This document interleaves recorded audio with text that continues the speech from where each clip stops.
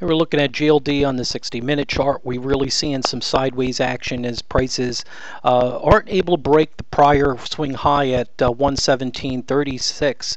Uh, we have been seeing some uh, some progress in the action as it's been kind of holding this uh, trying this little bit of a, a attempted rally uh, off the lows. Uh, it's been improving, but you've been seeing also some divergence here and some weakness here as it's been trying to go higher. So I think it's still very susceptible to the continuation of the downtrend.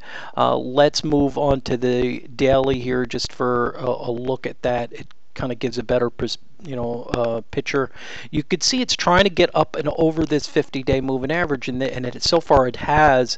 Uh, it's just a question: can it can sustain this little bit of a, a, attempted rally here? Because you know we've been in a pretty good downtrend, and we're still honoring this downtrend line. So unless we really break that, as I said before, you have to be a little cautious in this kind of a move uh, because it can really start to just kind of change this dynamic again and on a retest now, that being said, it seems like it's trying to do that, but uh, again, just uh, be real careful with your, you know, anything to the upside in this.